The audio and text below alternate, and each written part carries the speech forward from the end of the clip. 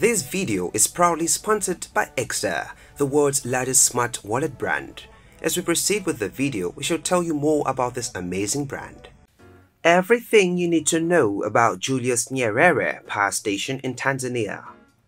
Hello Displorers, welcome to another informative video presented to you by Displore and thanks for watching. In this video, we shall bring you everything you need to know about the Julius Nyerere Power Station in Tanzania. The Julius Nyerere Hydropower Station, also called Rufiji Hydroelectric Power Station, is a 2,115 megawatts hydroelectric dam under construction in Tanzania, expected to produce 5,920 gigawatts hour of power annually upon completion. The government of Tanzania has been considering establishing this power station since the 1960s, and when fully developed, it will be the largest power station in East Africa.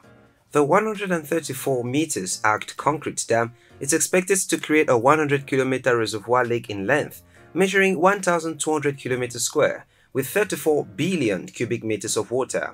This East African masterpiece is not only going to change the face of the region, but also the socio-economic life of the people. But first, let us look at the origin of this nation-changing project.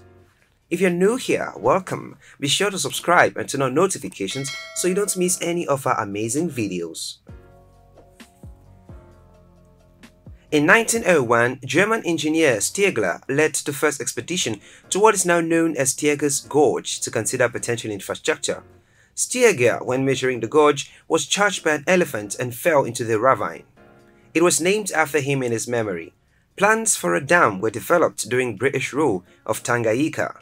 Alexander Telford conducted the first systemic development surveys of the Rufiji in 1928 to 1929, with engineer C. Gilman carrying out further studies in 1938 to 1940.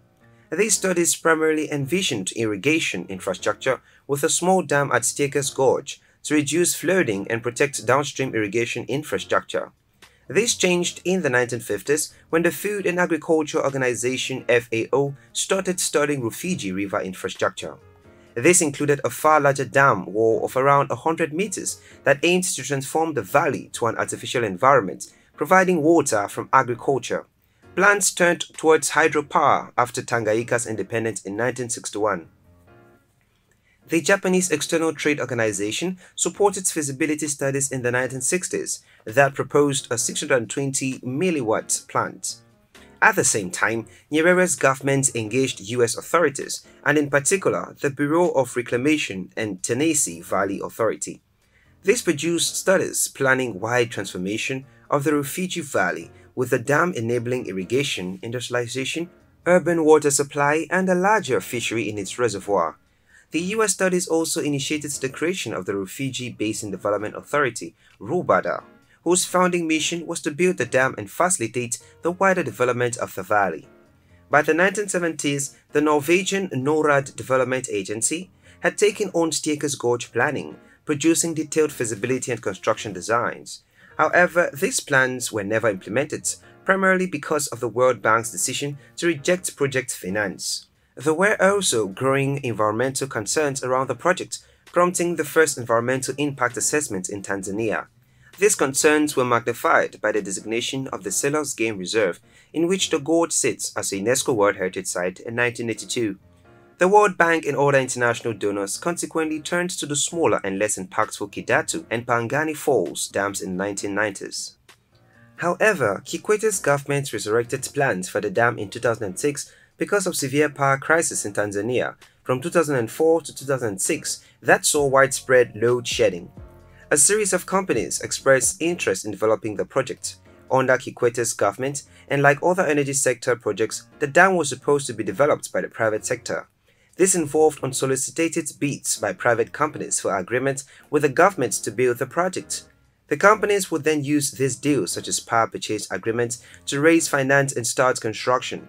However, the main engagement came from Brazil after a number of exchanges between the two countries happened between 2009 and 2012. They signed a memorandum of understanding with Rubada in 2012 to build the dam. Odebrecht got the contract and undertook feasibility and design studies and commissioned an environmental impact report. However, Tanzanian interest in the dam appeared to stall by 2014, delaying any form of implementation. This changed when President Magufuli came to power in 2015. In 2017, he announced that the Stiegler's Gorge Dam would be a flagship development project of his government and would be financed by the government rather than developed by the private sector. At first, a round of bidding for the construction tenders was held in the autumn of 2017.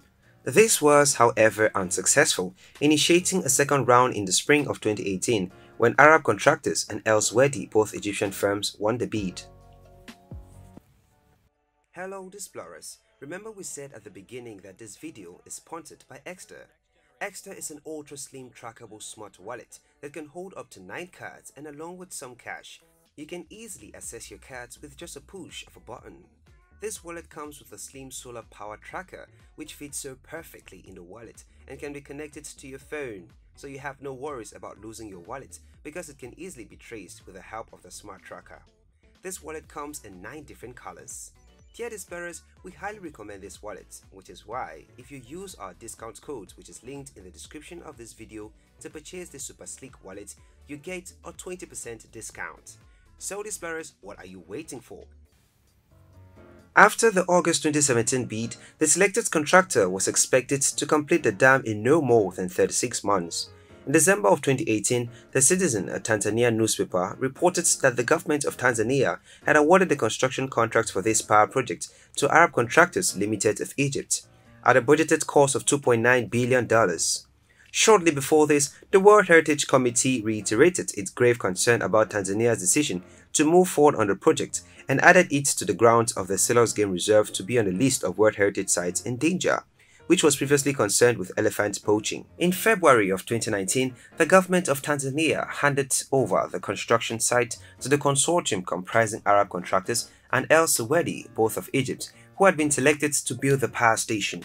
Allowing six months to mobilize equipment, actual construction was expected to start in the third quarter of the calendar year 2019.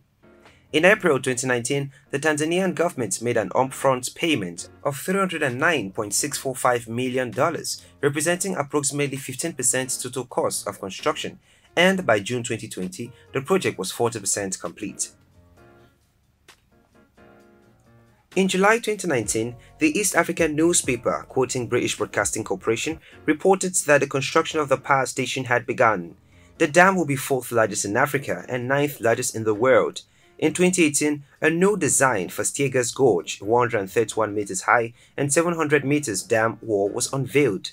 Installed capacity has been reported to be between 1,366.60 megawatts and 1,602 megawatts.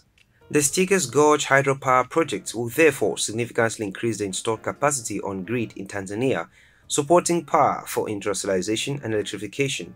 The government has publicly stated that the dam will be financed by Tanzania's national budget, yet no funding package was announced and the World Bank and other financiers rejecting support for the dam.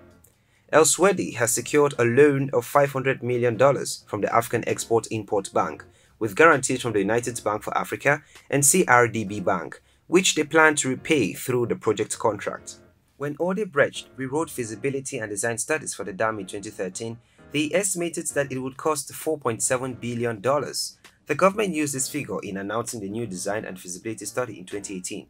However, Hartman claims that the underlying costs have changed in the price of concrete and construction costs and in engineering services. Using contemporary dam cases, he suggested that after excluding socio-environmental mitigation, the current cost estimation should be around $7.57 billion, rising to $9.8 billion if a conservative amount of overrun is factored in. And still, Tanzania has not announced any funding agreements for the dam's construction. This financial situation could delay or stop payments to the contractors, which would harm or derail construction. Additional risks come from the choice of the two contractors. According to their public profiles, DAI claims that their company has had experience of dam construction and rather primarily builds commercial and residential buildings and transmission lines. Arab contractors reportedly worked on Aswan Dam in the 1960s, but would only have been on one of many subcontractors on the Russian-led project.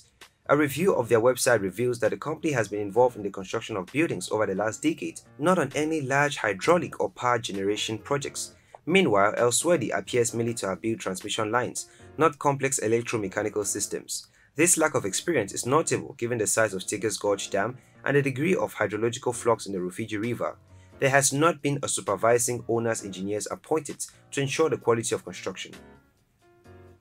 There would also be a project management issue in undertaking infrastructure on this scale of recruitment, which is estimated at 4,000 plus personnel and a number of subcontractors. Neither company appears to have experience of management on this scale. In its most extreme sense, this raises questions about the dam safety, both in the construction phases and in the end of the product. Another risk concerns environmental and social impacts given inexperience. The companies are unlikely to be familiar with mitigation codes of practice that could limit impacts, like stopping dumping of soil in the river or in handling waste. There are a number of risks to the effective functioning of the Stiegler's Gorge hydropower project if it is completed, such as climate change.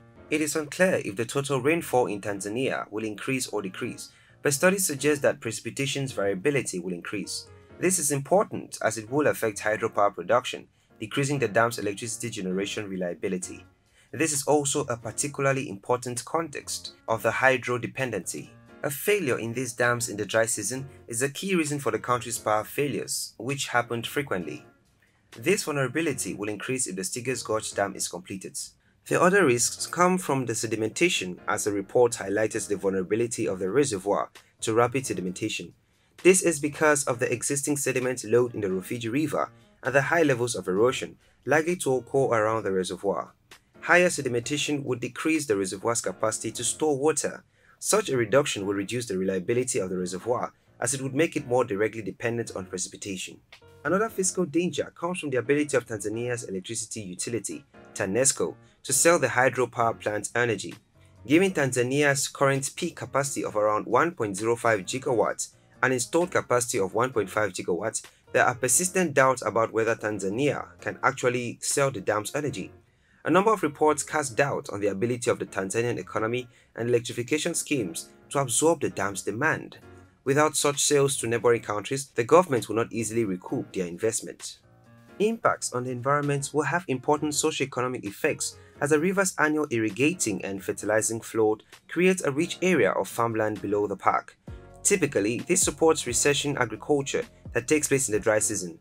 Indeed, the Rufiji Valley contains some of Tanzania's richest farmlands, including extensive paddy fields. People living in the valley also utilize lakes which are replenishing by annual floods. This area is Tanzania's economically richest fishery, centered on prawns. Prawns and other fish numbers are underpinned by the river's wet season pulse. Building the Stiegler's Gorge Dam will therefore harm fisheries around the Rufiji Delta. Another direct impact of the dam will be on tourism which will be twofold. The main photo tourist area of the Selous is the part of the reserve immediate below the gorge. The remainder of the park is for hunting tourism and will be negatively affected by construction. The building of the dam will bring a visual impact of this area because of the improved roads and large number of vehicles transporting materials to the dam. Despite these various concerns, academic and consultants have established that the significant level of environmental and social effects constitute an important trade-off in pursuing Stiegler's Gorge Dam. Hence, the project is moving on despite all odds, and its benefits are at the forefront of the government's determination. There you have it, explorers. That was everything you needed to know about Julius Nyerere Power Station in Tanzania. Thanks for watching this video, and if you did enjoy the video, do well to give it a thumbs up and do not forget to subscribe and share with your friends.